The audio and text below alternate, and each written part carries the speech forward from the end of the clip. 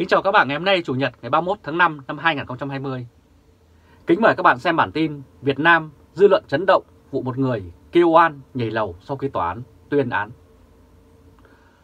Ông Lương Hữu Phước, 55 tuổi, trú tại Đồng Xoài đã chết tại sân tòa Bình Phước sáng ngày 29 tháng 5 sau khi nhận y án gây chấn động dư luận.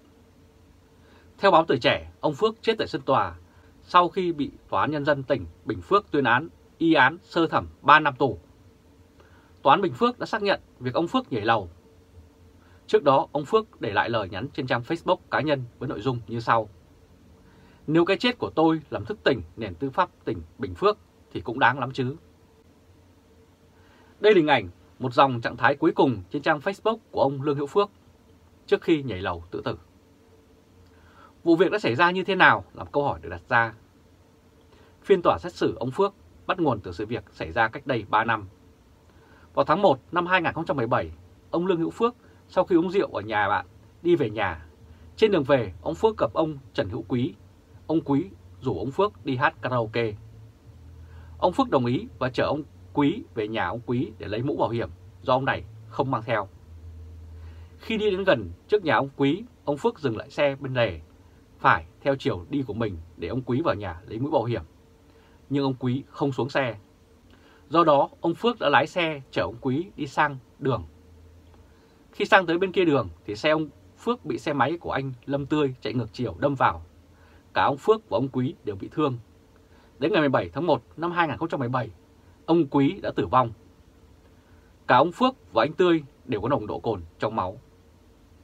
Vào ngày 29 tháng 3 năm 2018, Tòa án Nhân dân thành phố Đồng Xoài đã xét xử sơ thẩm vụ án và tuyên án ông Phước 3 năm tù về tội vi phạm quy định về điều khiển phương tiện giao thông đường bộ. Ông Phước kháng cáo và kêu oan. Vào ngày 9 tháng 10 năm 2018, Tòa án Nhân dân tỉnh Bình Phước xét xử phúc thẩm lần 1. Sau đó tòa hủy án sơ thẩm lần 1 để điều tra, xét xử lại, đồng thời nêu ra 11 điểm thiếu sót trong việc điều tra thu thập chứng cứ, vi phạm nghiêm trọng thủ tục tố tụng, bao gồm lời khai của bị cáo và các nhân chứng có nhiều quan điểm còn mâu thuẫn. Biên bản khám nghiệm phương tiện liên quan đến tai nạn giao thông không thể hiện vị trí công tắc đèn xi nhan, không ghi rõ tình trạng ổ khóa điện khởi động xe ở vị trí mở hay tắt. Kết quả điều tra và bán án sơ thẩm đã xác định bị cáo chuyển hướng không bật đèn xi nhan là chưa có căn cứ.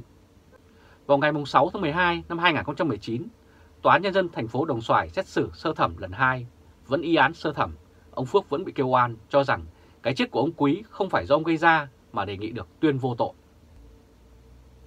Đây là hình ảnh hiện trường vụ án xe ông Phước nằm bên phải, xe ông Lâm Tươi bên trái bị cong vành.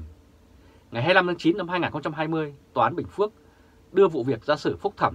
Đến 29 tháng 5, tòa bác đơn kêu oan của ông Phước tuyên y án sơ thẩm. Sau đó đến chiều ngày 29 tháng 5, ông Phước mang theo chai thuốc trừ sâu đến tòa uống và nhảy lầu. Tòa án Nhân dân tỉnh Bình Phước nói gì? Câu hỏi cũng được đặt ra. Ngay sau khi vụ việc xảy ra, sáng ngày 30 tháng 5, tỉnh Bình Phước đã tổ chức họp báo. Trong cuộc họp, Tòa án Nhân dân tỉnh Bình Phước khẳng định việc giải quyết và xét xử vụ án, hội đồng xét xử, phúc thẩm hoàn toàn công tâm, vô tư, khách quan và trên nguyên tắc tôn trọng chứng cứ để ra phán quyết. Được biết, hội đồng xét xử bao gồm thẩm phán Lê Hồng Hạnh là chủ tọa, thẩm phán Lê Viết Hòa và thẩm phán Phạm Tiếp Hiển, trưởng phòng, giám đốc kiểm tra Tòa án Nhân dân tỉnh Bình Phước. Một điều trùng hợp là thẩm phán Lê Viết Hòa cũng đã từng tham gia và xét xử phúc thẩm một vụ án dân sự tranh chấp đất đai, sau đó bị đơn cũng dùng dao tự sát. Ông Hòa này chính là người đã ngồi xét xử phiên tòa phúc thẩm vụ tranh chấp 39,5 mét vuông đất của ông Võ tránh khiến ông tránh cũng tự sát. Vợ ông Võ tránh sau đó cũng dọa tự sát theo chồng khi chi cục thi hành án dân sự cưỡng chế. Cuối cùng, bản án do thẩm phán Lê Viết Hòa tuyên đã bị hủy để xét xử lại, nhưng ông Võ tránh đã chết được gần 5 năm rồi. Đây là hình ảnh thẩm phán Lê Viết Hòa, Phó tránh án Tòa án Nhân dân tỉnh Bình Phước đang trần tình vụ án về ông Võ Chánh tự sát. Cụ thể, tại vụ án tranh chấp quyền sử dụng đất giữa nguyên đơn là ông Lê Quang Dinh, sinh năm 1963, với bị đơn là ông Võ Chánh, sinh năm 1968, và vợ Đào Thị Xuân, sinh năm 1967, cùng sống tại phường Tân Bình, thành phố Đồng Xoài. Nguyên nhân của vụ án này do ông Dinh khởi kiện đòi lấy 39,5 m2 đất gia đình ông Chánh đang quản lý sử dụng. Vào ngày 25 tháng 9 năm 2014, Tòa án Nhân dân Đồng Xoài đưa ra xét xử tuyên vợ chồng ông Tránh phải trả cho vợ chồng ông Dinh 39,5 mét vuông đất. Vợ chồng ông Dinh trả lại cho vợ chồng ông Tránh 10 triệu đồng. Vợ chồng ông Tránh phải nộp án phí 7,5 triệu đồng và vợ chồng ông Tránh kháng cáo. Đến ngày 21 tháng 7 năm 2015, Tòa án Nhân dân tỉnh Bình Phước xử phúc thẩm. Hội đồng xét xử gồm 3 thẩm phán gồm Hoàng Minh Thịnh, Lê Viết Hòa và Nguyễn Văn Khương đã tuyên không chấp nhận kháng cáo của ông Tránh giữ nguyên án sơ thẩm. Quá ức 5 giờ sáng ngày 26 tháng 7 năm 2015, ông Tránh sang nhà ông Dinh. Tại đây, hai bên cãi vã rồi xô sát. Sau đó ông Tránh nằm ngục trên vũng máu. Cơ quan điều tra xác định ông Tránh chết bởi một nhát dao do ông tự đâm vào mình. Sau đó, chi cục của Đồng Xoài cưỡng chế thi hành án, bà Xuân tuyên bố sẽ tự sát như chồng vì không còn chỗ ở nào khác.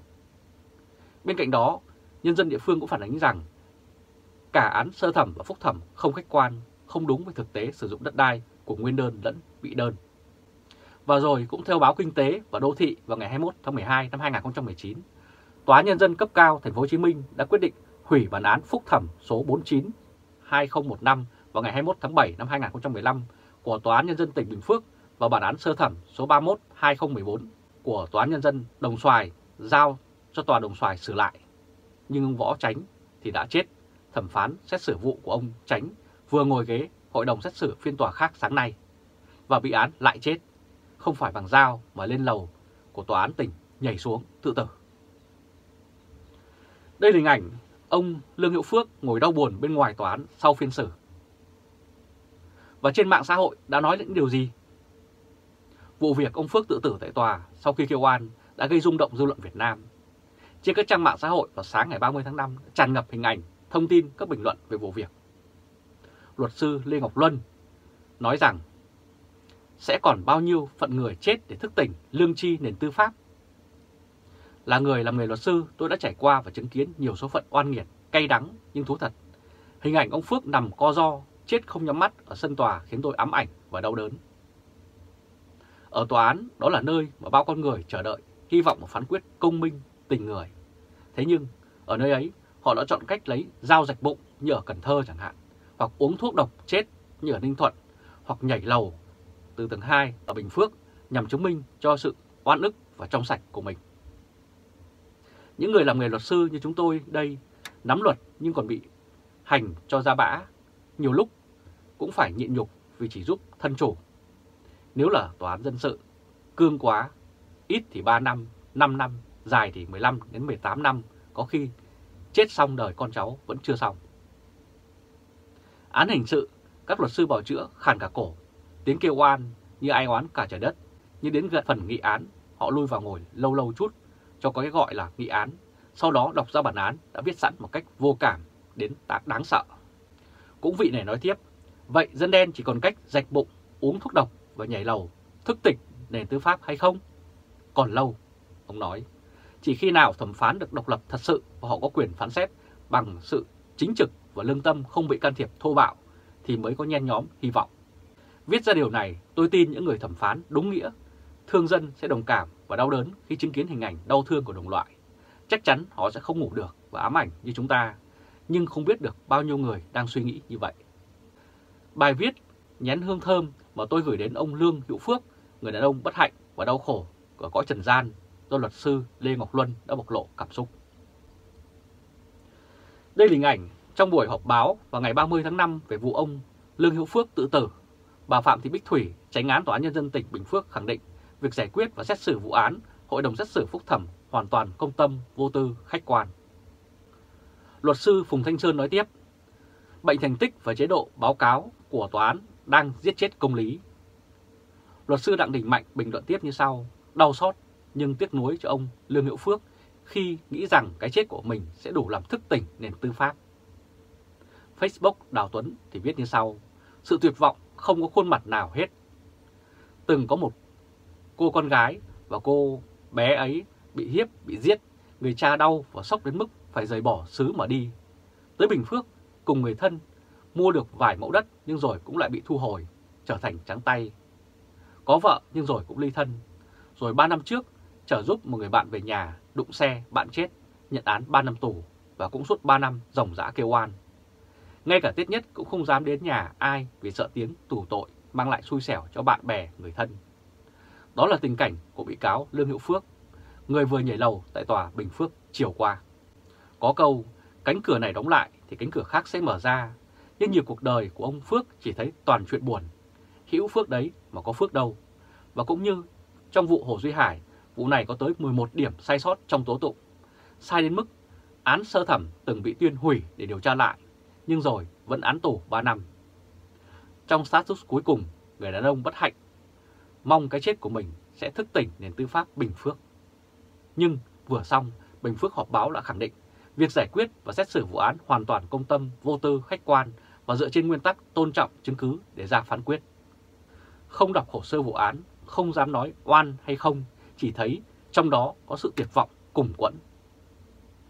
Và khi phải quyên sinh, không tiếc ngay cả mạng sống thì có nghĩa là con người ta chẳng còn tin gì, chẳng còn gì mà mấu víu vào cuộc đời này nữa rồi. Đây là hình ảnh ông Lương Hữu Phước tại tòa, bên phải Lâm Tươi, người đâm xe vào ông Phước. Nhà báo Bạch Hoàn thì viết trên trang Facebook với 200.000 người theo dõi như sau. Không biết bây giờ ở bên thế giới bên kia, hương hồn ông Lương Hữu Phước, người vừa nhảy lầu tự tử ở trụ sở tòa án tỉnh Bình Phước, có chứng kiến cuộc họp báo sáng nay của Ban tuyên giáo và tòa án Bình Phước sau cái chết của mình hay không. Nếu có, chắc giờ này ông sẽ hối hận vì chẳng có ai thức tỉnh cả. Họ vẫn khẳng định họ đã công tâm, vô tư, khách quan khi kết án ông. Cả Ban tuyên giáo Bình Phước và Tòa án tỉnh không thấy có lời nào chia sẻ, không có sự lắng nghe, không động lòng chắc ẩn. Họ không hề mảy may suy nghĩ, không một cơn gợn sóng trong lòng, dẫu một bạn người đã mất vì họ, dẫu một người đã phải đi tìm được cái chết vì phẫn uất và mong họ thức tỉnh. Đất nước những ngày thiếu vắng công lý, niềm tin đã cạn kiệt, đất nước những ngày buồn. Khắp nơi trên đất nước này còn bao nhiêu dân oan, còn bao nhiêu bất công và vô lý. Khắp nơi trên đất nước này còn bao nhiêu người phải chịu đựng, áp bức, thiệt thòi.